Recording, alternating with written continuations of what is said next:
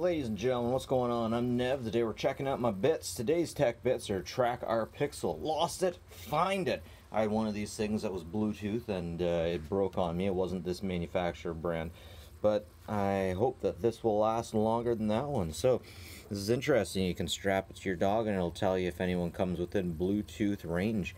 I wonder exactly how far this will work because in theory, this only works over Bluetooth. So if you're outside of Bluetooth range, then you're not going to hear anything.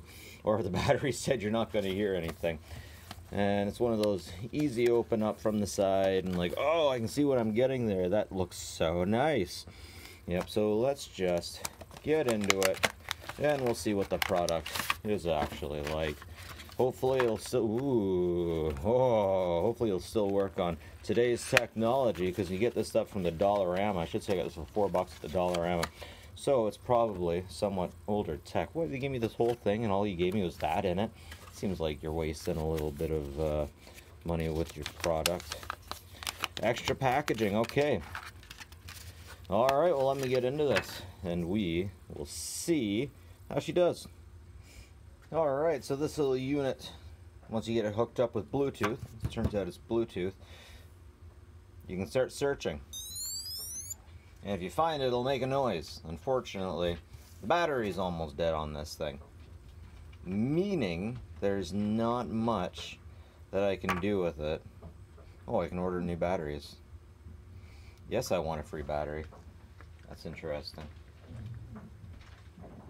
You know what would have been way cooler than a battery? If you would have just sent me an extra battery with it.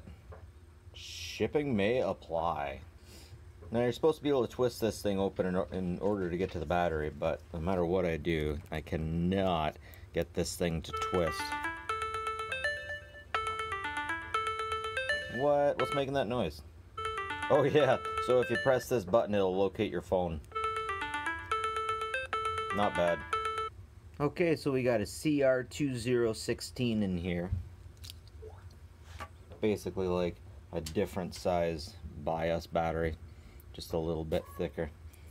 But still, why wouldn't they just send me one?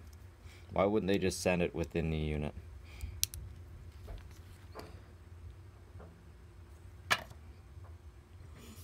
So that's what we got on the inside of it.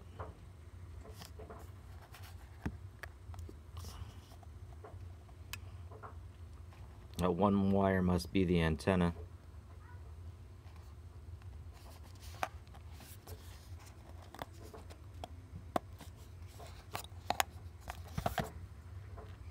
Gotta say, I recommend against this purchase just because the battery doesn't work and it's really freaking hard to replace.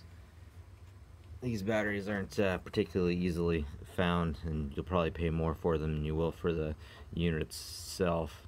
Then again, that being said, I'm sure someone will find these at a dollar store. Super easy. Anyways, that's it for me, folks. Nev from Nev's Tech Bits. The thing works if you want. If you got the battery, if you got a replacement battery, go for it all day. Otherwise, uh, not so cool. That's it for me, folks. Like and subscribe if you like the stuff. It's always appreciated. And take care of each other, folks.